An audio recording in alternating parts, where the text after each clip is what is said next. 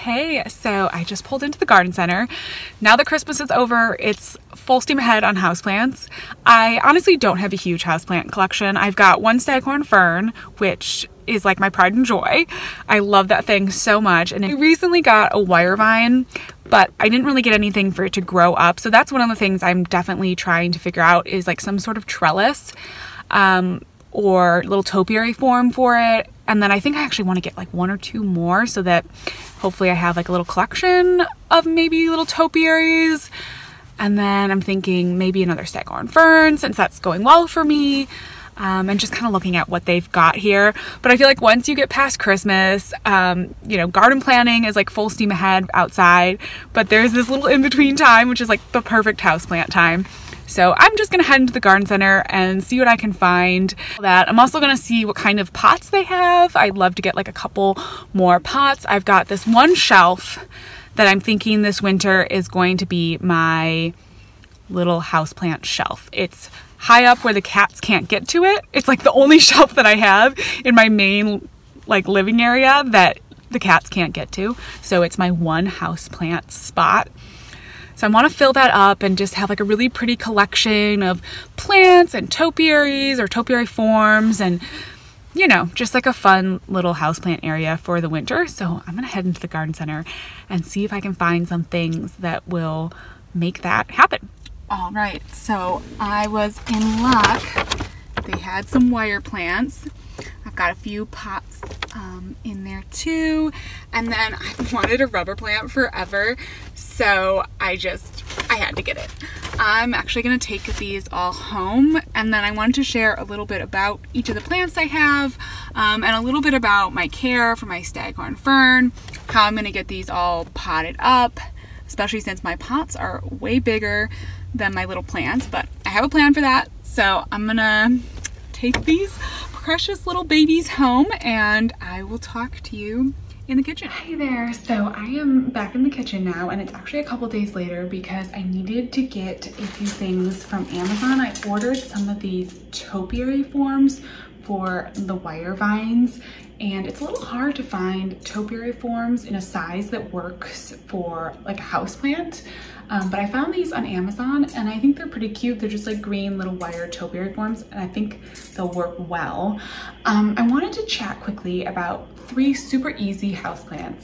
As I said before, I'm not a super houseplant expert, so definitely easier houseplants are something that I'm interested in. And these are just really fun and really pretty. The first one being right here in front of me, this is the rubber plant. A really gorgeous plant. I mean, just look at these leaves. There are several different kinds of rubber plants. You can get um, really a variety um, of different foliage, but this is just, I mean, gorgeous. Absolutely love it. And this is, um, I'll put the name of it if I can figure out the exact variety. Anyways, it is really, really beautiful and Rubber plants typically are not a super hard house plant to grow. So they do need some bright uh, light. I'm gonna have mine in bright indirect light for the most part. It's in a south facing room in my house. So it gets a pretty nice amount of light.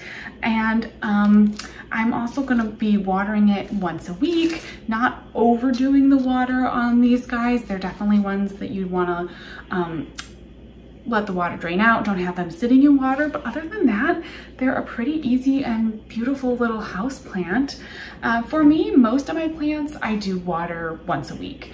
Even my ferns, occasionally in the winter months when it gets really dry in the house, I'll water my ferns twice a week if I remember.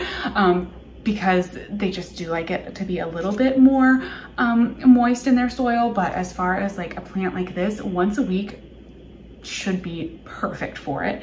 And I'm going to pot this guy up in one of these really pretty um, terracotta pots. Let me pull this out here. So this is just a really beautiful, um, like cream colored terracotta pot. And as you can see, it's just about like maybe an half an inch to an inch um, wider than the container that it's in, which is just about the right um, size when you're when you're potting plants up. The next house plant I want to talk about. And these are two plants that I already have, but I just thought I'd mention them because they're super easy houseplants. Cactus. Got this guy in a little head planter. He's super cute. And then I have one of these. So every cactus is a little bit different. I found, and I don't know the varieties, I apologize on, um, on either of these. I think this is called a bunny ears cactus or something along those lines, but when I got them at the garden center, it just said cactus.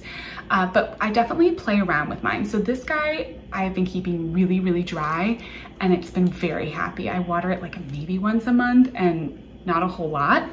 Now this one actually is happier with a bit more water. And so I usually give it water like once a week, every other week if it's really humid.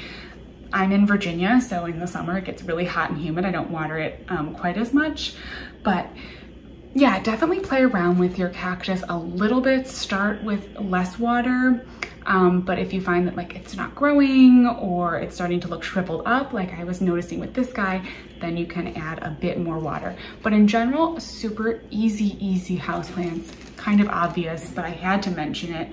Um, and these again are gonna be in a bright indirect light in a south facing room and very happy. So the last one, which you saw me get at the garden center, are, I'm trying to figure out which one to grab here. Wire vine. These have been new to me this year as a houseplant, but they've been growing amazing. Same south facing bright light. I water them once a week, really pretty. And these are the plants that I'm going to be adding um, a topiary form too. So I'm gonna go ahead and move the camera down so you can see what I'm doing. These are the wire vines that I got from the garden center and actually you can see they're kind of variegated. I don't know if you can see that, which is really pretty. and a little bit different. They've got kind of like um, just a little bit of pink tips in the stems and they've got this pretty variegation. So really sweet plant. But as you can see, this container is tiny. Um, but they do grow quickly. There's already some roots coming out from the bottom of those containers. So I'm going to put them in a bit of a bump up as far as size. This is gonna be one of the containers I'm gonna plant this in. And as you can see, that's quite a bit larger than you would normally probably bump up one of these plants into. Um, but I'm not too worried about that because they're such quick growers that if they take a minute, if they kind of shock for a little bit and they just hang out in those pots and they don't really grow super, super quickly for a while, I'm, that's fine. You know, they're gonna make their way up these topiary forms for sure, no problem there. And so, yeah, they can just um, hang out in their containers for a little while, adjust to being in the bigger space, and I think it'll be okay. You do have to watch a little bit if you take a super small pot plant and put it into a much bigger pot, they can shock. Um, but again, I'm gonna just take my chances a little bit with these guys and I think they're gonna be totally fine. And if they hang out for a minute and I have to adjust, again, that's totally fine with me. It's gonna be a little bit of a process for these plants to grow up the topiary form. So I'm definitely going to continue to just help train them and guide them so that they start to make their way around the circle. And then I'm anticipating that once they get pretty well around this circle, I will just have to um, probably do a little bit of trimming on them. I'm gonna try my best to size control and and just trim as needed once they make it around the topiary form. I don't really want any bigger plants than that, um, but I think that that will work out great. And this is just gonna be so cute once the whole thing grows up. Super excited about that. Next, I wanted to talk about my staghorn fern. So that plant is such a joy. I absolutely love it. It's been such a nice plant to care for and really, really a beautiful addition, I think, to any kind of house space. You can either mount them on the wall or you can grow them in um, like in a pot or in a basket or something like that, I will go grab mine and show you what it looks like. I keep my staghorn fern in one of these um, little orchid boxes, which is just really perfect for them. They're one of those um, air plants that hang on to the side um, of like a tree or they'll grow in the crevice um, of, of a tree. So something like this where the roots can get a lot of air is perfect. And then to water it, I just take the whole thing and I submerge it in water for about a half hour to an hour once a week sometimes twice a week if it's really, really dry in the house. Uh, but other than that, it's in a bright indirect light and that is like the perfect light conditions for it. It's super happy. You can see it's putting on some new leaves here. Now, the other thing that's really important with the staghorn fern, when these big fronds, these big leaves die, you can cut them back. That's totally fine. But up here, I believe they call this the shield you can see there are these really circular, kind of lily pad looking, I'll turn it around, flat leaves up here on the top.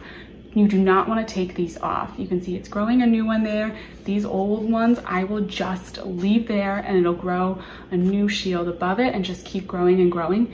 If you remove these, it'll actually kill the plant. So the big staghorn looking um, leaves, these can come off but the circular ones at the base, don't remove those. So that's the biggest thing that you need to know about it. Indirect light, submerge to water it, find a nice, um, you know, like a box like this. The wooden kind of uh, orchid container is perfect and you'll have a super happy staghorn fern. So the last one that I'm gonna pot up today is this um, rubber plant and I'm just gonna set him in there and then to sprinkle around the outsides. Now, some of these roots were showing above the soil when I got it from the garden center, so they're not a problem. I'm just gonna leave those exposed and keep it basically at the soil line where it was um, when I got it from the garden center. Try not to spill too much of this, but of course, you always make a mess when you're repotting things. And then I will just water all of these houseplants in and get them set up on their shelf. So here is the plant shelf. I've got one pot that has room for a plant, so that's always fun. I'm gonna have to go get something else, but it's gonna be really pretty, especially once these topiary forms start filling Thank in. you for hanging out for this little houseplant adventure. I hope you're having an awesome day. Maybe hanging out with some of your houseplants, um, and I'll talk to you soon. Bye-bye.